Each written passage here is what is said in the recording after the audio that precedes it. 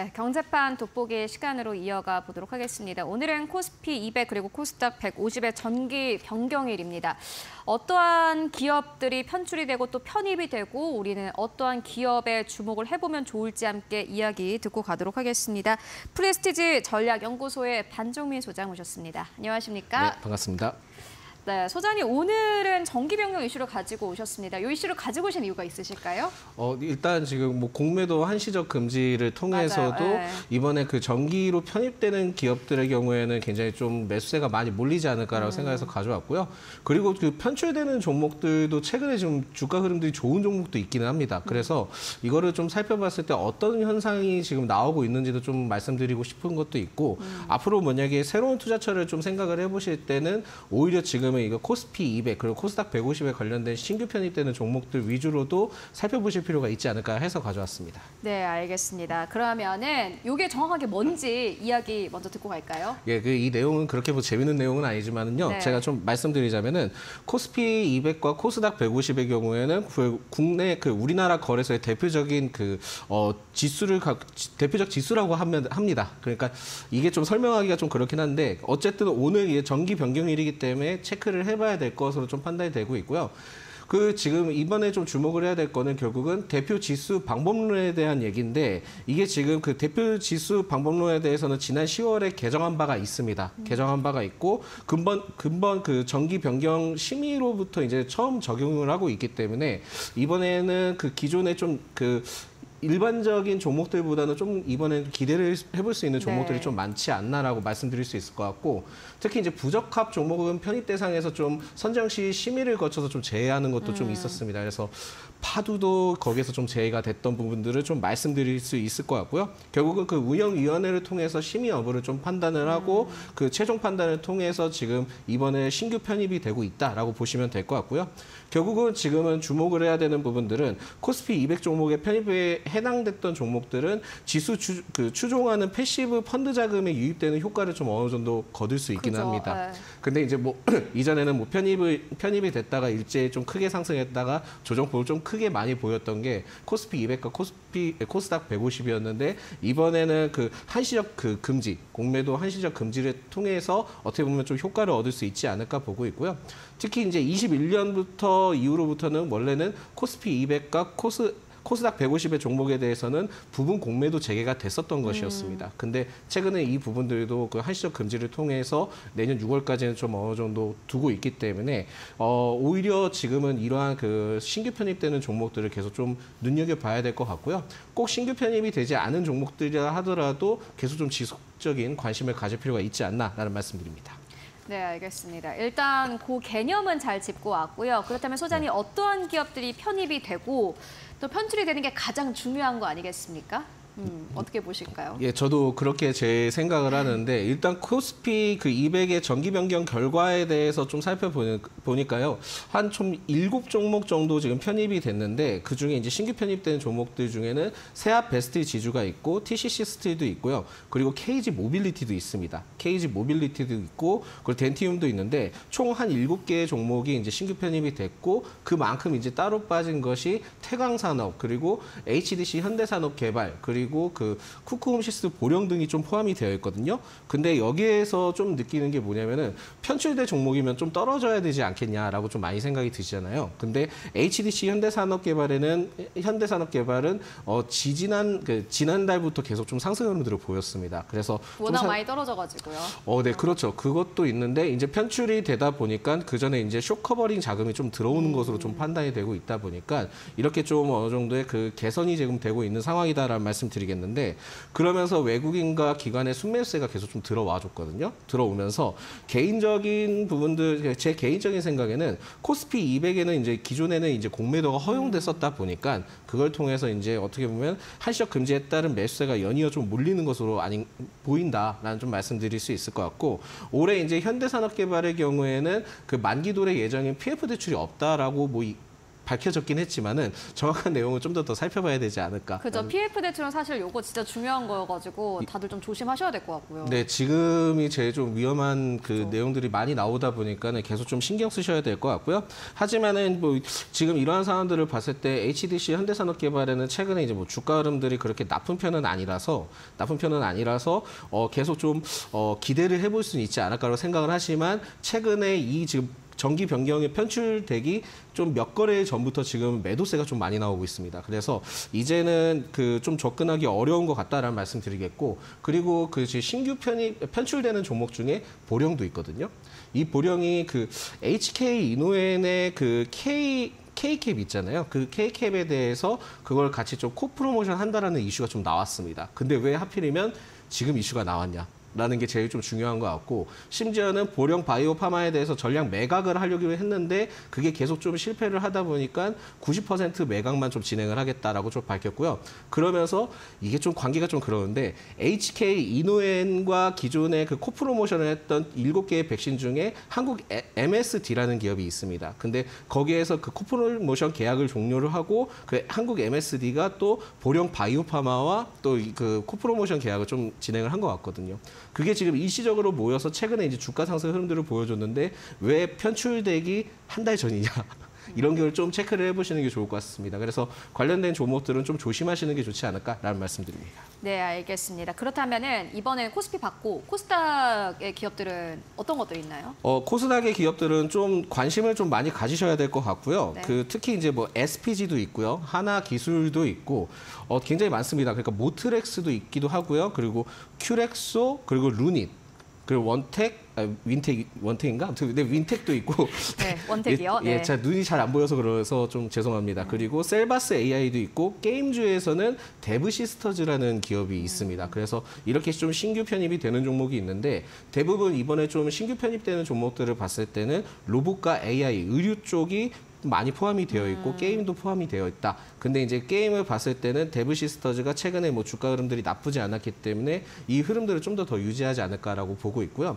반면에 이제 편출되는 종목들을 봤을 때는 뭐 샤- 삼표 시멘트도 있기는 하지만 선광, 네 올해 좀 핫했던 선광도 있었고 그리고 헬스케어 부분에 대해서는 헬릭 스미스와 셀트리온 헬스케어, 아미코젠, 그 휴마시스 메드팩토가 편출됩니다. 편출되고 그리고 최근에 주가가 갑자기 많이 뛴 아주 아이비 투자도 있고요. 다날도 있고 그다음에 굉장히 좀 핫 이슈가 되고 있는 위직 스튜디오도 있다라고 보시면 될 것 같습니다. 그래서 지금 이러한 사안들을 봤을 때는 위직 스튜디오의 경우는 계속 좀 이슈가 많이 나오고 있잖아요. 그러다 보니까 이게 왜 하필이면 또 지금 시점인지가 좀, 좀 아이러니하고요. 그래서 이러한 종목들을 좀 조심하셔야 될 것 같고 셀트리온 헬스케어의 경우에는 결국은 제가 합병을 통해서 아마 다음 주 이제부터 이제 거래 정지가 되니까 거래 정지가 되니까 이 점에 대해서 이제 셀트리온 쪽으로 넘어 그러니까 합병이 돼서 넘어가다 보니까는 편출된 것으로 좀 판단이 되고 있습니다. 그래서 이 점은 좀 살펴보셔야 되는데 좀 아쉬운 부분들이 있다면은 이게 좀 어- 어떻게 보면 경고 메시지일 수도 있긴 한데 바이오 쪽에서 이렇게 빠졌다라는 거는 생각보다 좀 앞으로 기대하기가 조금 어렵지 않을까라고 좀 판단이 되고 있고요.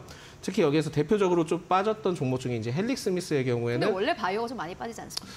왜 많이 빠지기도 하고 네. 많이 들어오기도 하긴 하는데 그죠. 예. 워낙 이제는 감사 보고서 시즌도 또 이제 포함이 되어 있고 재무적인 부분들도 굉장히 좀 아쉬웠다 보니까 이게 3월 때 과연 좀 잘 넘어갈 수 있, 있는지 그리고 실적이 나오지 않는 이상은 좀 쉽지는 않을 것 같다라는 말씀드리겠고요. 특히 이제 헬릭 스미스의 경우에는 카나리아 바이오와 좀 어느 정도 연관성이 있다 보니까 이 기업들 위주로는 약간 좀 보수적으로 접근하시는 게 좋을 것 같고 메드팩토의 경우에는 기존에 이제 테라젠 테라젠 이텍스가 굉장히 좀 주목을 하면서 갔던 거였는데 지금은 좀 많이 좀 어려운 상황인 것 같습니다. 근데 감사 보고서만 잘 통과한다 하면은 이 매드팩토도 추후에는 좀 계속 좀 괜찮게 주목을 해봐도 되지 않을까라는 말씀드립니다. 네, 그렇다면은 에코프로 머티도 좀 짚고 갈까요? 핫한 기업 하면 요 기업도 좀 빼놓을 수 없는데 어떻게 보셨나요? 아, 예, 그, 예, 참 그렇죠. 뭐 굉장히 좀 상승을 많이 해서 여기에 대해서 뭐, 요즘에는 네. 사실 LS 쪽 빼놓고는 시장 이야기하기 정말 힘들어요. 네, 그렇습니다. 네. 그래서 이 에코프로 머티의 경우에도 저도 좀 깜짝 놀란 게 어떻게 이제 코스피 200의 특례 편입 기준에 충족했다라는 음. 이슈가 좀 부각이 되면서 이번에 좀 편입될 예정이다라고 좀 얘기가 나왔었고요. 반면에 이제 케이카는 이제 제외가 됐던 걸로 알려져 있습니다. 그러면서 어떻게 이제 충족돼서 갔, 갔는지 확인을 해보니까 에코프로 머티의 경우에는 상장 후 이제 시총이 40위까지 좀 상승을 했던 것. 그리고 지난 8일까지 15거래의 평균 시총 50위 이내를 좀 기록을 하면서 특례 편입 조건에 좀 충족을 했다라고 좀 말씀드릴 수 있을 것 같고요.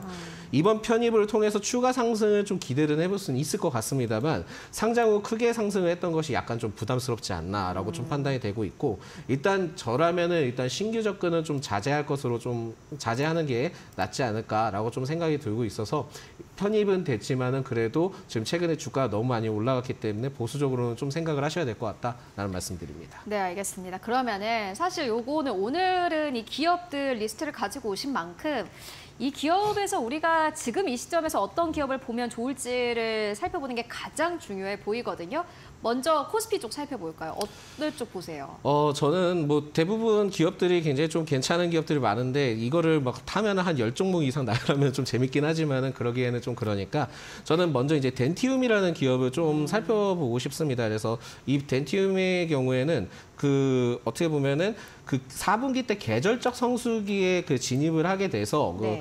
VPN 정책 VPB라고 합니다. VPB 시행 이후에 임플란트 물량이 좀 지속될 것으로 좀 전망을 하고 있다 보니까 계속 좀 관심을 가져볼 필요가 있지 않을까라고 보고 있고 또한 이제 중국 쪽 매출에 대해서도 그 기대를 해볼 수 있기 때문에 좀 지켜봐야 되는데 게다가 지금은 좀 여기에서 포인트가 되는 게 러시아의 그 러시아 delay 물량이 좀 있기는 하다 합니다. 그러다 보니까 이게 지금 러시아와 우크라이나 전쟁이 좀 막바지로 해서 마무리가 된다 한다면은 그래도 좀 성장 가능성이 좀 더더 높지 않을까라고 좀 판단 하고 있어서 덴티움은 계속 좀 주목을 해보셔야 될 것 같고 네 최근에 이제 그 9월부터 매- 그 기관의 순매수의 유입이 계속 좀 꾸준히 되고 있습니다. 그러면서 전체적으로는 지금은 뭐 10월부터 주가를 그 조정을 막고 지금 올라오는 상황이기 때문에 이제는 좀 기대를 해볼 수 있지 않을까 보고 있고요. 근데 말씀처럼 이제 감사 보고서 나올 때 아닙니까? 근데 네네. 실적이 이 기업의 가장 큰 문제는 너무 실적이 오르고 내리고의 그 편차가 너무 크다는 것 같거든요. 우리가 근데 이거를 뭐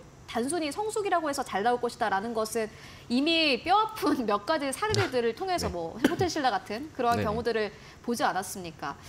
어떻게 생각하시나요?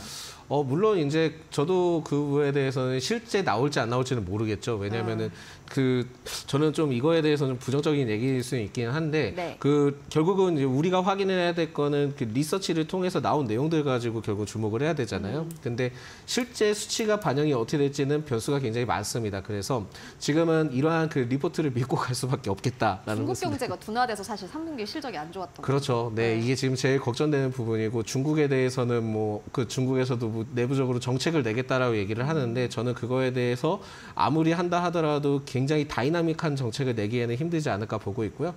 뭐 시진핑 그 주석도 그거에 대해서 뭐 굉장히 뭐 앞으로 뭐 활성화를 시켜보겠다라고 얘기는 나오고 있지만은 기존의 그 중국 CPI도 그 8, 9월 때 아마 제가 알기로는 기본적으로 좀 어느 정도 지원 정책을 내세웠던 걸로 알고 있습니다. 근데 그 지원 정책을 내세웠음에도 불구하고 효과가 그렇게 크지 못했거든요. 그리고 일부 좀 상승했다 다시 또 떨어졌던 시점을 봤을 때는 중국향 매출에 대한 부분들은 다소 좀 아쉬울 수는 있을 것으로 판단이 되지만 결국 이제 소비 관련된 중심이고 그 치아 관련된 부분들이다 보니까 이거에 대해서는 그래도 어, 성장적인 부분들을 좀 체크를 해봐야 되지 않을까라는 말씀드리겠고 그리고 감사 보고서 얘기를 해주셨는데 감사 보고서 때 그러니까 결국은 4분기 실적이 나오고 전체 실적이 나오잖아요. 근데 실적이 잘 안 나온다 하더라도 오히려 기회를 삼고, 삼고 진행을 하셔도 괜찮지 않을까라고 보고 있습니다. 이거는 좀 위험한 얘기일 너무 수 있겠지만 너무 열려 있는 거고요. 그럼 다음 기업은 어떤 걸까요?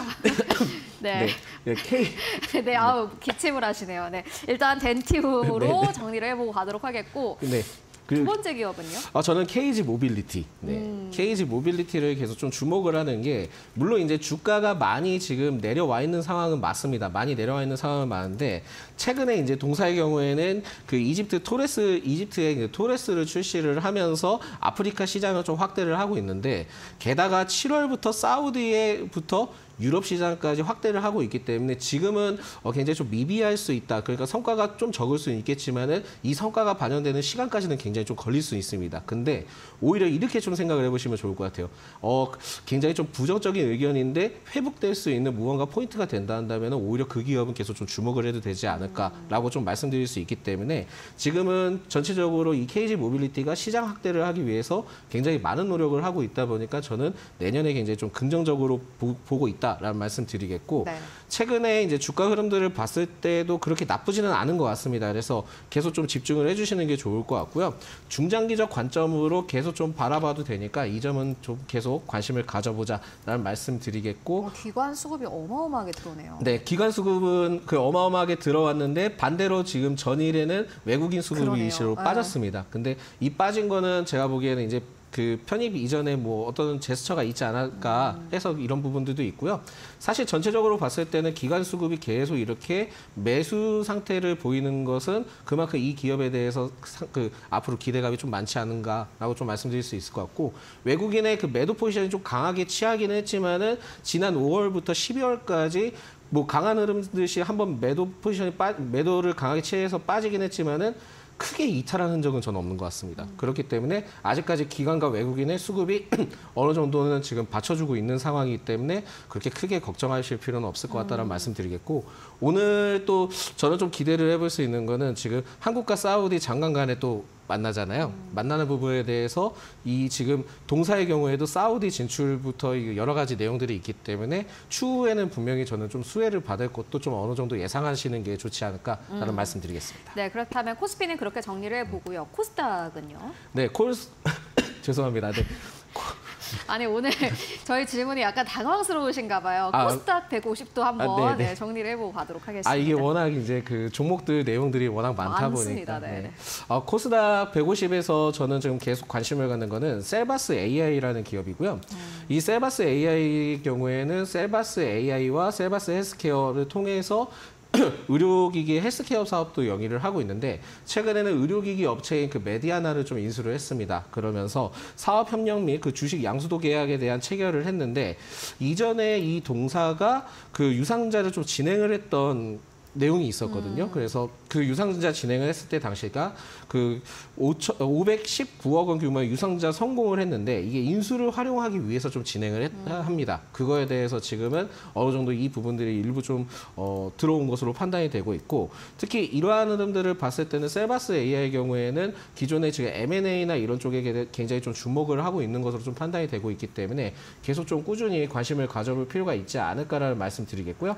이 기업 역시도 최 근에는 11월부터 주가의 흐름들이 그 나쁘진 않습니다. 그러면서 기관의 순매수에도 좀 들어와주는 상황이긴 한데 지금은 이 그 의료기기, 의료 AI 쪽은 계속 좀 체크를 하셔야 되는 게 금리 그 미국에서 금리 인하를 뭐 내년에 어 내년에 이제 세 번 정도 인하를 하게 할 가능성이 있다라고 좀 얘기가 나오다 보면은 네. 결국 기술주 쪽에 굉장히 좀 매수세가 많이 몰릴 가능성이 높거든요.